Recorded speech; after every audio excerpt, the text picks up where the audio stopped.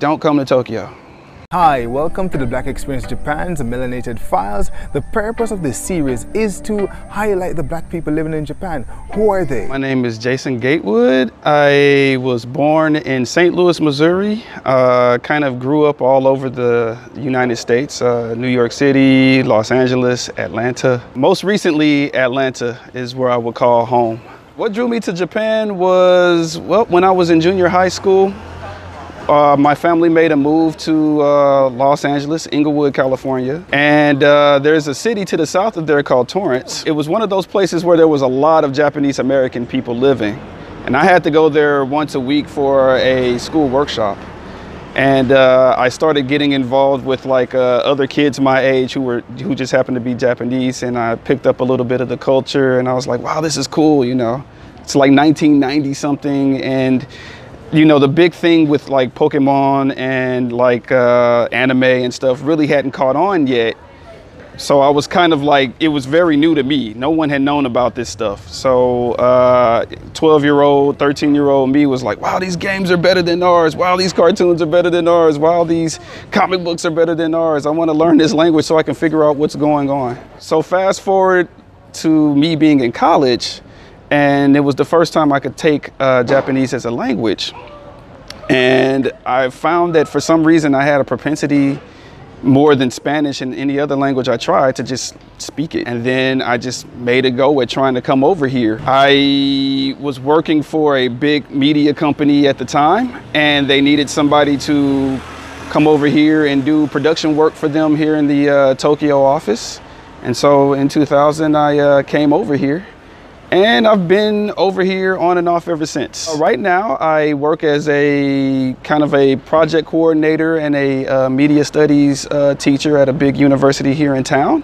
And I also work as a freelance journalist for a couple of top uh, worldwide media companies as well. 18 years, but not continuously. Um, I first arrived here uh, in 2000, and then I worked my contract and then I left. Um, and I left for about almost a year and I came back in 2001 as a student.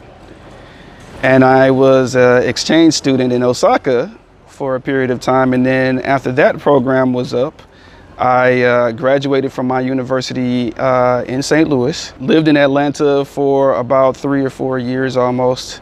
But I was still coming back here because I have many friends here. Um, almost every year I was coming back and visiting. And then uh, decided in 2008, nope, I'm gonna move back to Japan.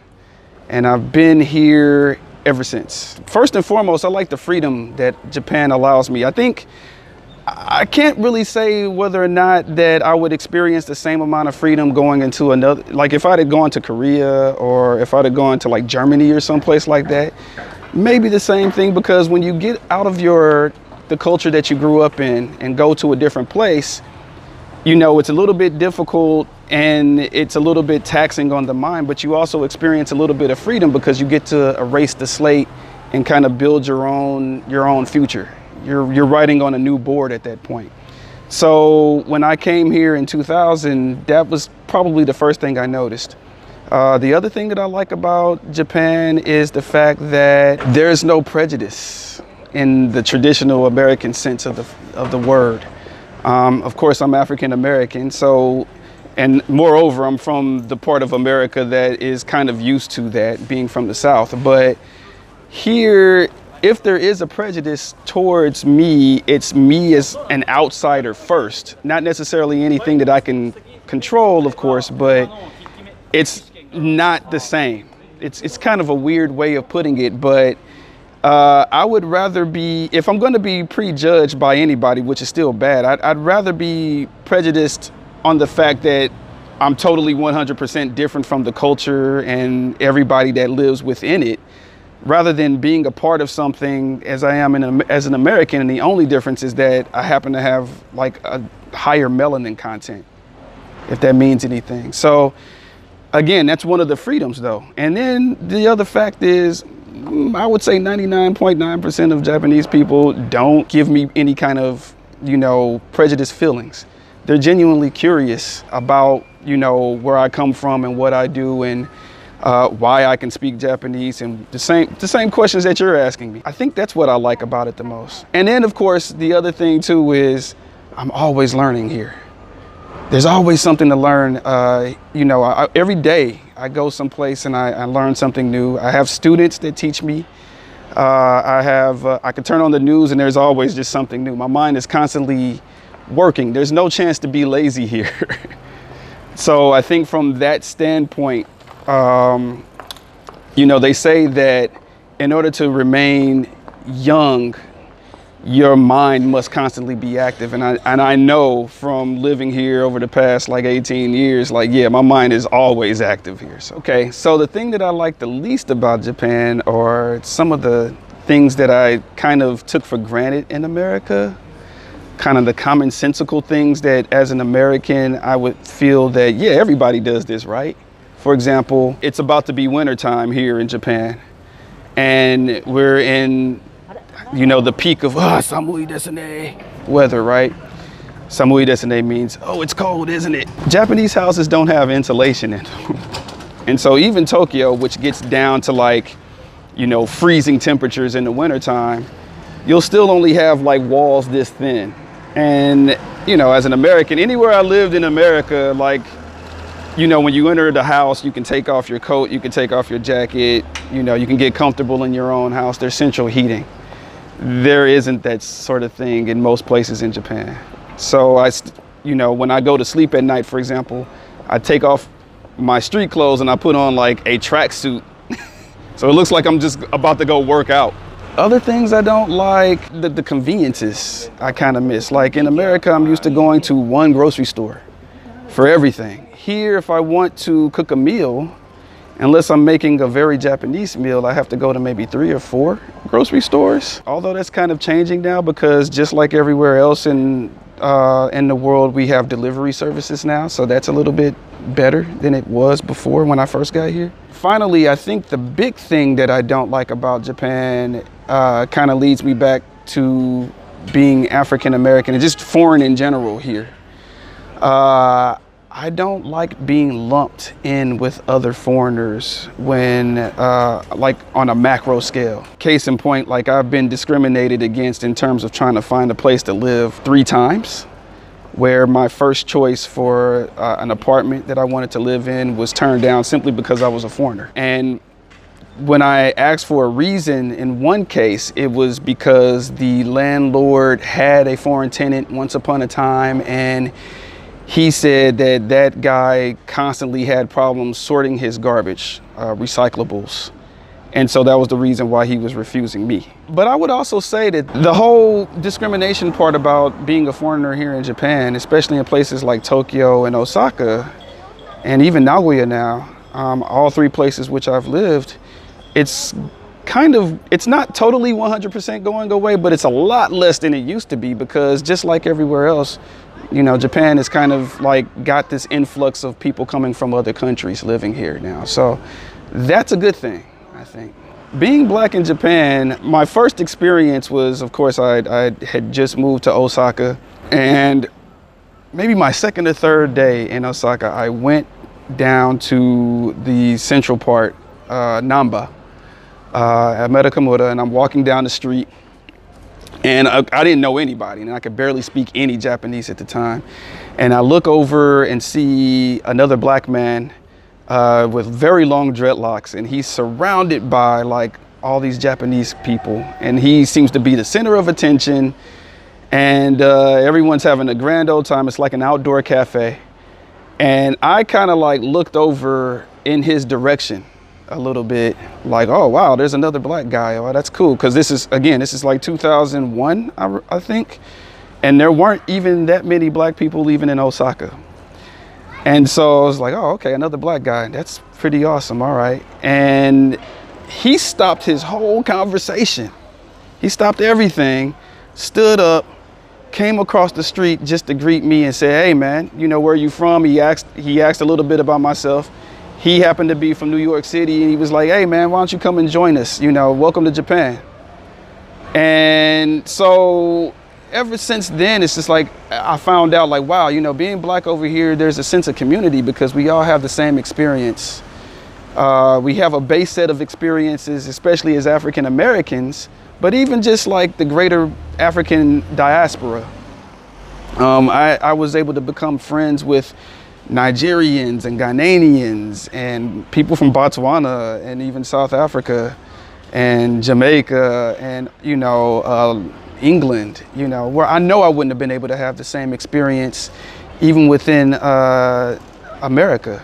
So it's kind of a, a, small community here because we still have we still have the skin that we're in and we still have no matter in the where in the world we go a base set of experiences to draw from. So living over here together there's a sense of camaraderie. And we can talk to each other as brothers and sisters you know equally because we're experiencing the same thing over here. So that's that's kind of it. And then in terms of relating to japanese people it's been i would say 99.9% positive. There's our culture that um, you know everybody knows, and of course I didn't figure that part out until I got over here too. Hip hop culture is a big thing over here, and it's a, it bridges things. I find that as a teacher, um, my students readily want to talk to me. You know, they want to come up and talk to me about music and pop culture because, hey, guess what? You know, they were looking at YouTube and there was a guy that looked like me on there, and I can go into any part of Japan and talk to the young people because that's what they're into. So uh, it made my job maybe a little bit easier. When I was younger, it kind of made it easier in the dating scene. Um, I'm pretty sure you've heard th this, these stories before about how it's, I would say, kind of easy for black guys to go to any any bar and start talking to the ladies. That part I would say is mostly true. That's the icebreaker you know, you don't have to work so much to start talking to, you know, people of the opposite sex here. And maybe of the same sex, I don't know that part, but maybe so. Uh, if you're trying to date them. But you still have to have a little bit of panache and pizzazz. You still need to wow them. One of the tricks that a friend of mine told me once upon a time, for example, is don't use so much Japanese. And um, because it keeps the, that air of mystery going. Um, I think just like anywhere else, females are attracted to mysterious people. So they want that air of myst that mysticism maybe. I don't know. I, am the total opposite. Like I'm, I tend to be an open book when I start talking to people. So. but I will say this, that uh, once you do get into a relationship, things will change rather drastically. You will be expected sometimes to be more Japanese. Uh, there'll be the little nuances that you'll have. Like, for example, once I was dating a girl and she got very furious with me because every time I would eat, I would leave little specks of rice in my bowl. And she was expecting me, you know, she cooked the meal because she would come over to my apartment sometimes and cook for me. To her, that was like disrespectful because I was leaving little specks of rice and I wasn't finishing the whole thing. And that's, again, that's maybe a little bit of a culture shock. So I would say if you do get into any kind of a cross-cultural relationship, it's important to be open and to be upfront. So you have to you have to figure out if you're dating over here how to shift gears, how to go from being that mysterious, ooh, that guy's foreign, you know, ooh, I, I want to learn more about him to, okay, I need you to tell me more about your culture so I can have these expectations. So the funniest thing that happens to me, not so much in these urban areas, but if I go into the rural areas, I'll just be minding my own business. And especially when I had longer hair, some old people or some young people will come up and just like out of nowhere, just start touching my hair like this, like no words, which is very weird because this is Japan and there's all, you know, everyone is very polite here. You know, one time I was like kind of minding my own business in the countryside in, in Aichi Prefecture on the train and all of a sudden I see this hand just come out like this. I'm like, what's going on? And then just on my hair and I turned around and it was some grandma. And she's just like, ah, oh, chiri chiri nah, like that. Chiri chiri means kind of like woolly or nappy. so that took some getting used to, but you know, uh, again, it's, it's, to me, it's funny. It's, Your mileage may vary. Oh man, I have a lot of favorite Japanese foods. First and foremost, are probably ramen. Um, ramen roughly translates to, you know, people think ramen here in Japan, Japanese people think ramen is a Chinese thing sometimes, but it's actually a wholly Japanese invention. You know, the Japanese are really good at taking something that's already there and remixing it. Um, and ramen is one of those things that they took from China and remixed it and made it their own. And I like it because it's a very regional dish that you can find all over. It's the American equivalent of barbecue, I think, in that respect. You know, there's Texas barbecue and Carolina barbecue and, you know, Missouri barbecue.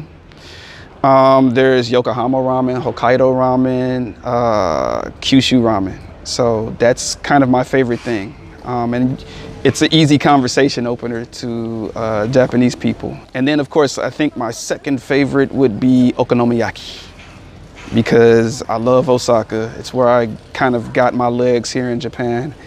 And okonomiyaki, it's a communal dish. The best life advice that I ever received was from my grandfather who sadly passed away not too long ago, a couple of years ago. He told me to learn a foreign language. And I remember the conversation. I was maybe in sixth grade or seventh grade in junior high school, and I was visiting St. Louis for the summer from Los Angeles.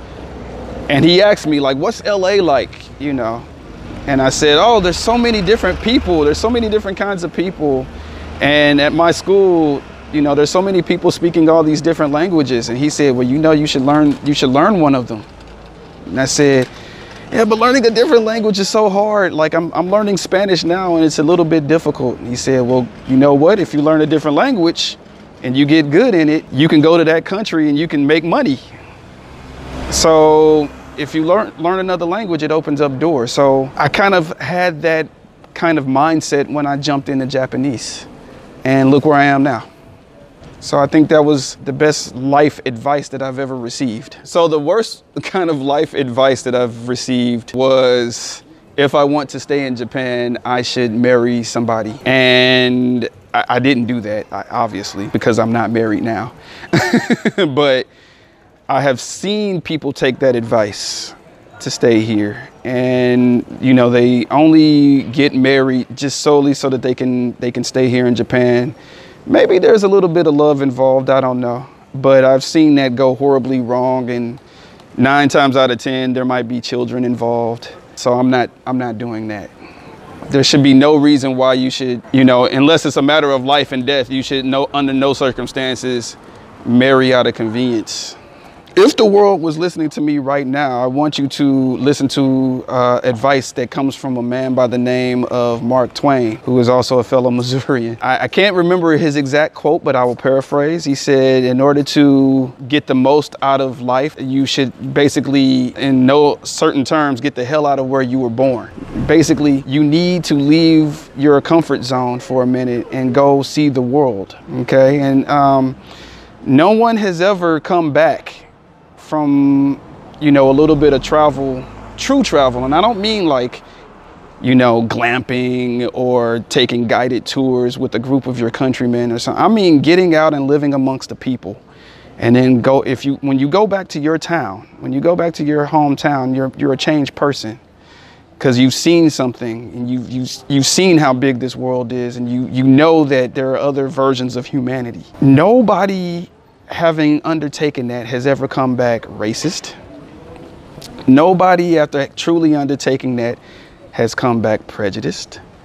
Nobody after after going and seeing all those things have has come back closed-minded. So I urge you, you know, there's so much divide in the world, there's so much strife happening. And you know, I'm a journalist and it's kind of my job to write about these things and to take pictures and show the world. There's people like me being killed because we're showing these things. So if I can't do it, you can do it. You know, I want to inspire you to get off of your couch, get off from in front of your, your phone or your computer where you're watching this video and get that ticket and come and see something that will take you out of your comfort zone for at least a couple of days. And then when you come back refreshed, I hope you're inspired. So if you're looking to come to Japan, number one, learn Japanese. I'm gonna say that right up front. Don't come here and expect that you can wing it speaking 100% English because that's not gonna happen. The more Japanese that you already know when you get off the plane, the better for you. The second thing is don't come to Tokyo. If you truly want to have an, a, uh, a truly Japanese experience and be able to become more proficient in Japanese and become more efficient, more importantly, in the culture and things that are of Japan, find a more rural area or at least like a mid-tier city. Go to some place, again, I would say also go someplace where there aren't any black people. I know that's gonna sound kind of the opposite of what maybe this video is supposed to be about, but when I I lived in Osaka first, and there were enough of us there at the time to kind of have our own community. Then I went to Nagoya, and I think maybe when I first got there in 2008, there were like maybe six black folks that I knew. um, and then that's out of like the 25 foreign people that I knew. There aren't there weren't very many foreigners even there, and I think I did the most growing here in Japan in that three year time period than I ever would have been able to do, especially in a place like here in uh, Tokyo, because I don't know if you've been paying attention to the people walking behind me, but I'm pretty sure there were a lot of foreign people. Go someplace where there's mostly Japanese people, okay? Um, and then finally, I think my last piece of advice is figure out what part of you you can give to society here. For example, if you are a if you're musically inclined if you're artistically inclined share that with japan because we need it over here. Um, japan is a very insular society. We're surrounded by water. 99% of everybody here is japanese. So be willing to show what you can give to japan while you're coming over here to experience japan and you will have a better experience. Knowing Japanese kind of unlocked a lot of doors for me that uh, in the beginning, I guess I, you know, you're, it's kind of like feeling your way in the dark and then slowly a light comes on somewhere that gets brighter and brighter and you can see more and more of the room. When I first arrived here, like I had a rudimentary knowledge of hiragana, katakana, and maybe like maybe 50 to 100 or so kanji. Now that's like, you know, I have like a high school level knowledge, maybe a little bit more. So I can go into a bank and I can conduct transactions. I can go to a doctor. I don't have to go and search for the English speaking doctor or dentist or, or hairstylist or whatever, because I can explain in Japanese, you know, what ails me or how I would like my hair to look or, or whatever it's more convenient because then you're not restricted to having to just float around the English speaking community. You can get up and go anywhere. Like one of my pastimes here is going off into the rural areas and doing a bit of photography. I'm also a rail fanner. I love trains and I like taking these long train rides into the countryside. And if I become lost or I want to learn a little bit about an area I've never been before, you know, I just go to the older people that live in that area and I sit down and I talk to them. And it opens up a lot of doors. And especially here as a journalist, where I'm assigned to kind of cover that part of Japan, I've been able to get jobs because of it. You know, the companies that I work for know that they can send me to any part of this country and I'll come back with something. As a teacher, I have to talk to students who have very low levels of English speaking ability, if they have any English speaking ability at all. And, and, and in some cases, I have to talk to their parents. And it makes me, one, it, it helps me keep my job because I have to have this level of Japanese in order to have that job.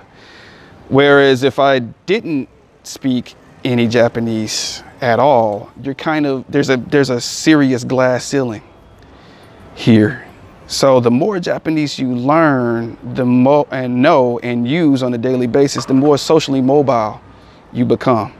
So yeah, you're you can you can float back and forth between two communities now as well. You know, you can have that 100%, you know, you're the only foreign person in that group of friends, Japanese uh, group of friends, and then you can also float back to the foreign community. And then in a lot of cases, you end up becoming that bridge and the center of attention. So if you're gregarious like that, there you go. The way that I learned Japanese was I had a few classes in high school, of course, um, and then university level. But I think my biggest advice would be if you're really serious about learning the language, really take some time and carve out a day where you're doing everything in Japanese. Um, when I was living back home in Atlanta, kind of in between living in Osaka and living in Nagoya for that three year period, I actually had Japanese roommates. um, I had this huge apartment and I had a I had two friends of mine in Atlanta who were Japanese and we decided to like kind of like room together. And so of course if I'm dealing with them, you know, I got Japanese at home. Then uh, I went uh, further and made sure that one day a week I'm doing everything in Japanese, which means I'm reading Japanese books, I'm watching Japanese television, I'm looking at the internet in Japanese, and so on. I even had Japanese like recorded like J-Wave radio programs so that I can listen to in my car while I'm driving to work. So there was a guy once upon a time that used to do a he was like AJATT on Twitter, all Japanese all the time. And he was living in America and basically, you know, surrounded himself by everything Japanese in his home. So that when he walked in, it was just like being in anywhere in Japan until he left again. And over the course of a year, became almost 100% fluent in Japanese. And I was blown away. So I was trying to get like that guy. And uh, another black guy, by the way. So uh, if you're if you're looking at this, thank you, dog. I appreciate it because you really inspire me. Uh, which leads me to maybe my second my second point of advice. Use the internet. Go out on a limb and take and shift your phone's operating system to Japanese. You know, instead of doing that Google search in English, do it in Japanese. Start now. You know, put those those apps on your phone and use them. Okay. But, uh, you know, the biggest thing, I guess, would be just take that time and be strict about it. Set a reminder, have a get a study buddy, do whatever you have to do. But it's just like working out. If you want to be slim, you go to a gym. If you want to learn Japanese, this is the same thing you got to do. You got to make that gym for your mind. In cyberspace, I'm at starrwulfe. I'm on Instagram. I'm on Twitter. I'm on Facebook. I'm I'm everywhere. Reach out. I'm a friendly person. I don't bite if you have any uh, questions about Japan. I'm also on Reddit too. Uh, username is starrwulfe. If you want some advice about living here um, and want to ask detailed questions, go to the Tokyo and Japan and Japan Life subreddit as well. And me and a bunch of other guys will answer your questions. Thank you so much for watching. If you'd like to see weekly videos about the black experience in Japan, feel free to subscribe to this channel. If you know someone that would like to be featured or if you yourself would like to be featured, send us a message on our Facebook page at The Black Experience Japan or send us a tweet on Twitter at The Black. Thank you so much for watching. We'll see you next time. Bye for now.